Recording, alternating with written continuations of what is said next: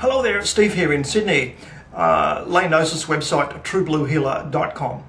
Um, I'm going to do a little discussion here. I'm adding a new page to True Blue Healer website. Um, it's called John Allegro, and it's a wonderful sort of comedy tragedy, um, a wonderful historical thing to read. Uh, it's going to make you laugh and cry, and probably attract your academic interest to go studying this. I've, I'm going to accumulate all this, the appropriate videos on a single page in my website, truebluehealer.com. And I'll here elaborate the story a little bit. 1947, Dead Sea Scrolls were discovered. Um, people have often wondered why they were kept secret till the 1990s. The reason is that six of the translators were Catholic priests, and only one of them was an agnostic. The agnostic I'm referring to is Mr. John Allegro, who was an outstanding scholar of dead languages, Aramaic, uh, whatever. Um, now, the six Catholic priests who translated the Dead Sea Scrolls kept quiet for 50 years, and even the stuff that came to Sydney on display, I do remember had some translations and was heavily redacted, and most of the Dead Sea Scrolls were not on display for the general public. It's only recently they've begun to appear on the internet in bits and pieces. You might wonder why has there been this 50, 60 year conspiracy to keep the Dead Sea Scrolls contents hidden from you, the common average person. Reason being, John Allegro, being an agnostic, privately published his translation of the Dead Sea Scrolls, revealing that um, it would seem, and you can look up, there's other highly academic people who have confirmed this, there's a book out on the subject. Um, informed commentators have made YouTube videos about this. And he honestly translated the Dead Sea Scrolls as they were written. And it basically says that um, there was a mushroom eating sect in ancient times, Samaritans, Sumerians.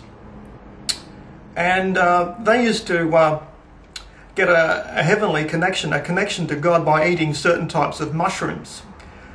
Um, this is recorded in the Dead Sea Scrolls, but you probably didn't know that because they've been kept under wraps for some 50, 60 years.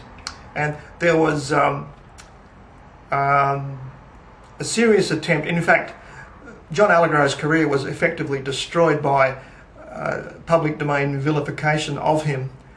Um, and he died in 1988, a most distinguished man.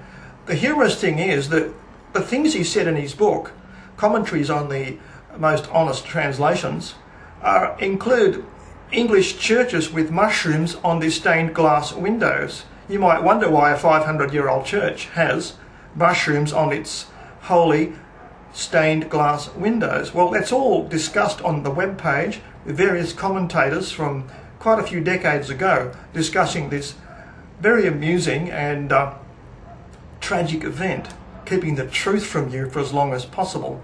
But here at last is all brought together for you. Um, on the website, I've assembled comment commentaries from uh, a very entertaining young man, a hippie, who actually leads you through bits of the Bible showing you that manna from heaven, which appeared in the morning as if from nowhere, as if from heaven, described as small round loaves, and had to be gathered before the morning dew fell, or they would go rotten or they would stink. This is literally written in the Bible, and there's a, a hippie which shows you his version of the Bible, and he's got it on his lap with a webcam, and he shows you, guides you through the passages. It would also explain if it's a hallucinogenic drug that connects you to God apparently permanently, though it can be a rough trip frequently. It's exactly why Jesus said, um, Eat my flesh and drink my blood, and you will live forever because it means it's a permanent link to heaven. You know what's really there. Um, which suggests that the great religions are just uh, wallpapering over this simple biological fact, a huge distraction to keep you away from knowing God directly. Um, tragic comedy, laughter, and thrills. It's better. This is better than Rocky and Bullwinkle any day of the week, right? So I commend you to this webpage on truebluehealer.com. It's the, uh, the page called John Allegro. Now, why am I telling you all of this? Well, John Hopkins University um, has um, even verified this to be true. Psilocybin, an active component of some mushrooms, induces um, religious mystical experiences in people repeatedly, as well as very bad, frightening experiences. The effects, both effects can last more than a year, which means it can bring a type of enlightenment and reconsideration, reframing of one's reality. Now, Johns Hopkins University has done this, and the hippie will show you how to find it.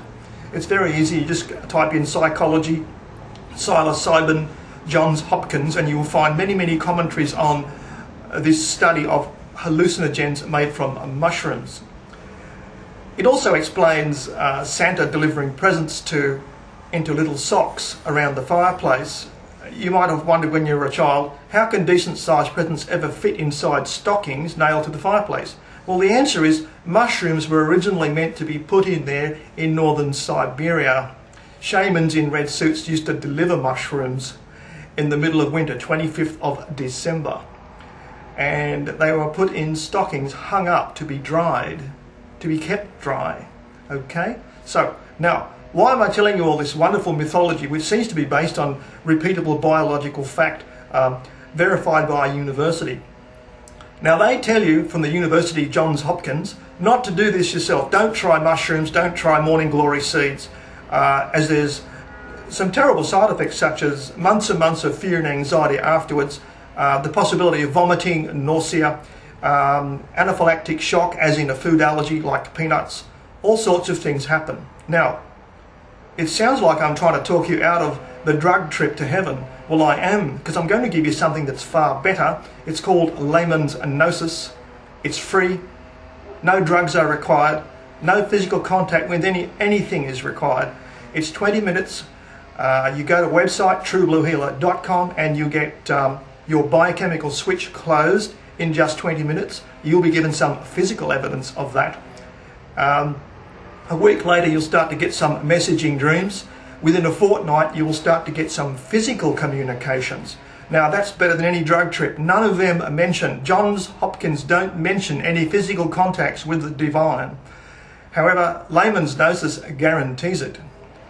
And four months later, you'll start to get your Kundalini rise, which culminates in the great feeling of connectedness that everyone talks about in these drug experiences. That's the good experiences.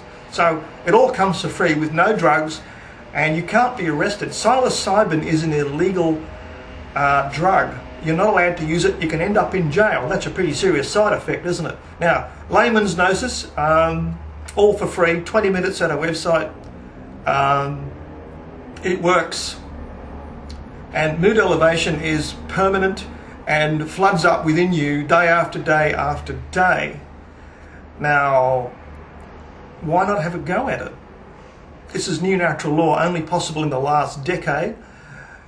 Um, all the people doing it, no one's ever wanted out. There's never been a bad trip from layman's Gnosis at the website truebluehealer.com.